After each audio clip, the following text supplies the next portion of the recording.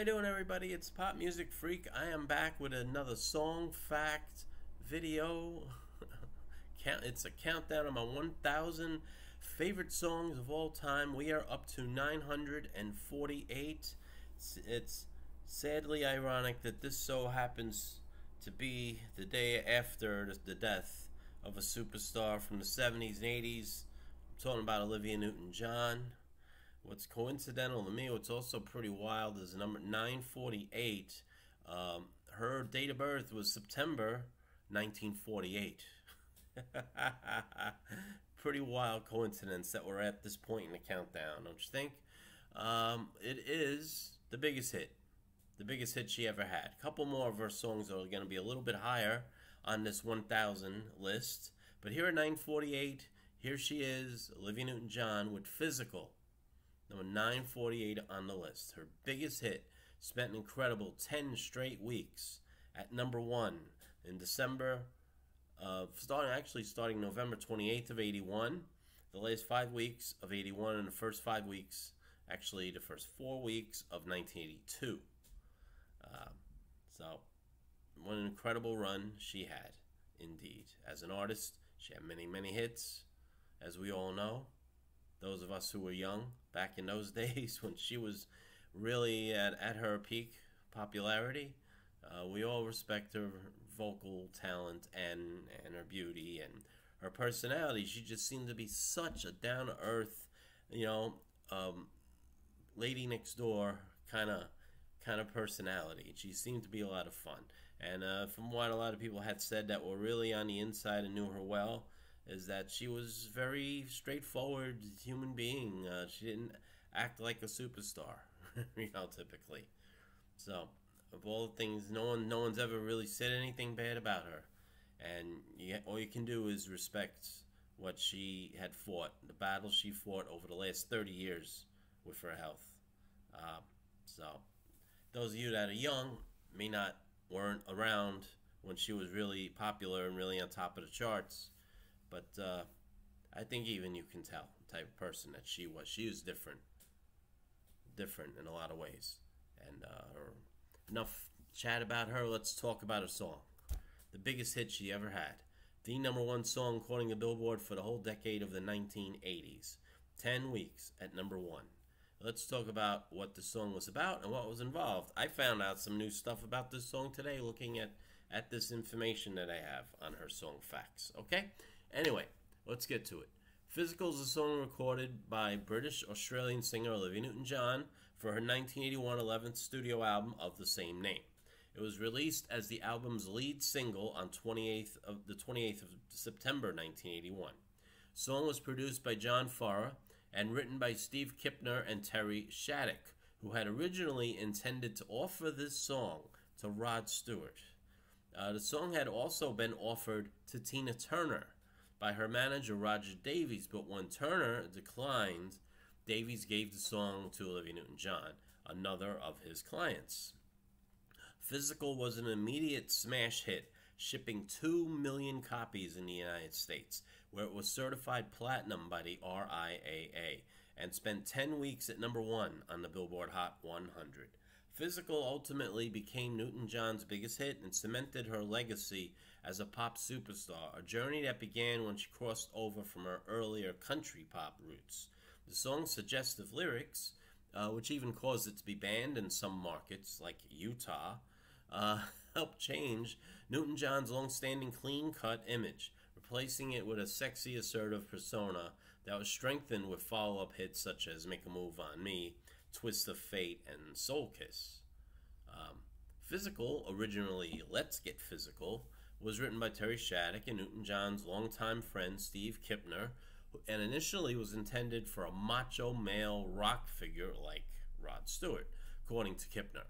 Uh, when Newton John's then manager Lee Kramer accidentally heard the demo, he immediately sent the song to her, but initially she did not want to release the song because she thought it was too cheeky.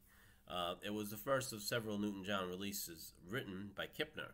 The song's guitar solo was performed by Steve Lukather, best known as a founding member of the American rock band Toto. Physical was written in the key of E minor, with Newton John's vocal range spanning from A3 to E5. Uh, reception.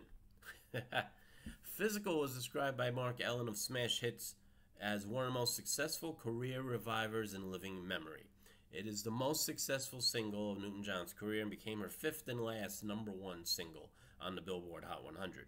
Physical stayed for 10 weeks at the top of the Hot 100 from November 21st, 1981 through January 23rd, 1982, out of a total of 26 weeks on the charts. It was the largest permanence at the time, becoming the most successful song on the Billboard chart in the 1980s.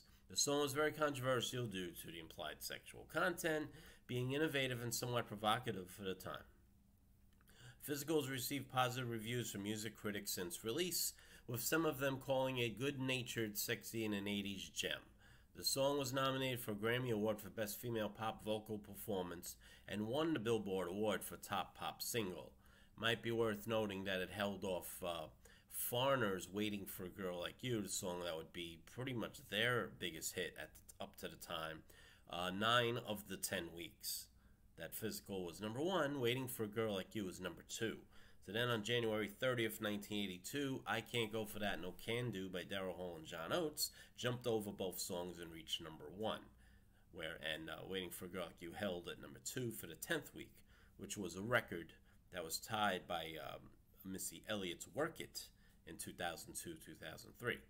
Um, just, just for those of you that want to know the chart situation there. Uh, What's funny also is that Hall and Oates were number one before physical and number one after physical, as Private Eyes was number one for two weeks, two weeks before physical reached number one.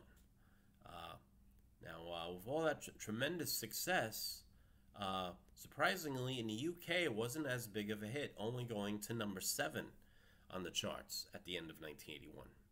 Uh, but uh, there were other countries around the world that jumped all over this song, as you will go through the different chart uh, chart peaks in different countries. All right. Now, of course, a lot of people can never forget the video. That the video was so much fun. It was directed by Brian Grant, featured Olivia Newton-John in a tight leotard trying to make several overweight men lose weight. Uh, the men fail comically, and Newton-John leaves the room to take a shower. When the men work out on their own, they suddenly transform into muscular, attractive men. A stylistic shot shows one muscular man glancing at his overweight self in a mirror. Uh, Newton John is shocked when she returns and starts to flirt with them. Two of the men secretly go out holding hands, implying, I guess, that they were gay. Um, this surprises Newton John, as does the sight of two more of the men leaving with their arms around each other. Finally, she finds that the last of the overweight men is heterosexual and they go off to play tennis together. fun, fun stuff. Okay, as for the legacy of this song, uh, Billboard ranked Physical number six on its all time top 100 list, number one on its top 50 sexiest songs of all time list, and number one on its top 100 songs of the 80s list. Uh, so that's about it. Now, going over the personnel who played on the song, of course, Olivia sang lead and backing vocals. John Farrar played guitar and sang backing vocals. Steve Lukather, again from Toto, uh, was played a guitar solo. Uh, David Hungate played bass. Uh, Bill Cuomo pro- played the Prophet 5, whatever that is. Uh, Robert Blast played keyboards. Uh, Carlos Vega, drums and percussion. Uh, Lenny Castro also on percussion. And Gary Herbig on the horns. So there we go. as for chart rankings, let's look. It also hit number one in Australia, number one in Belgium, number one in Canada, number one in New Zealand, number one in Switzerland, and number one on the Cashbox Top 100 along with Billboard. Uh, on the dance chart, it got to number 22 in the U.S. On the soul chart, it got to number 28 on the R&B chart. Wow, I didn't know that. That's something. Uh, West Germany, it hit number four. Uh, what else we got? Portugal, number two. Brazil, number two. Ireland, number four. Netherlands, number four. But yeah, UK, it only got to number seven. Didn't seem to be as cool till, I guess, to the UK. Uh, and throughout Europe, I mean, basically charted everywhere in Europe. Um, as for year-end charts, uh, Cashbox ranked at number six for 1981. Cashbox usually ranks everything up till the end of December. Um, 82 is when uh, Billboard ranked at number one for the year. And Brazil's number two for the year in 82 uh, for the decade, number one for the decade, beating out What was number two? You wondering for the nineteen um, the nineteen eighties? What was the number two song of the eighties? Whoa, it was Bette Davis Eyes. That's right. Bette Davis Eyes was number two. Kim Carnes just beating out Endless Love, Diana Ross, and Lionel Richie for number for number two. So Endless Love was number three. And Every Breath You Take by the Police was number four for the 80s, in case you're wondering. Uh, and on the old time chart, Billboard Hot 100, it was ranked number 10 when they originally came out with that first uh, Billboard Hot 100 chart in 1998. I think now at this point it's slipped down. It's around number 13 or 14 at this point in time.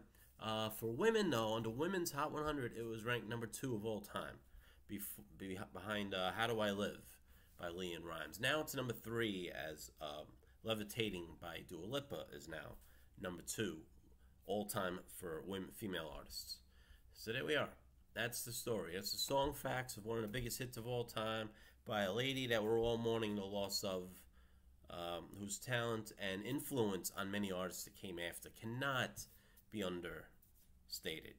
You ask, you ask anybody from Taylor Swift to uh, anyone that tried to put on a more provocative, sexy image later in their careers, talk to the Sheena Eastons, the um, the Britney Spears, and artists like that, and many of the female artists that are popular today, are all can nod and give thanks that someone as influential as Olivia Newton-John came along before them. So, anyway, I'll get off the soapbox now. okay, so that's number 948. The uh, link to the video is going to be in my description on, on my YouTube channel. So please subscribe, please like the video, please hit that bell to let you know when the next ones are coming out. I think this is my third one I put out today. I think I'm going to aim to try and do three a day. All right, so we have some more good ones coming up every day. So thanks for watching. Peace and love to all of you.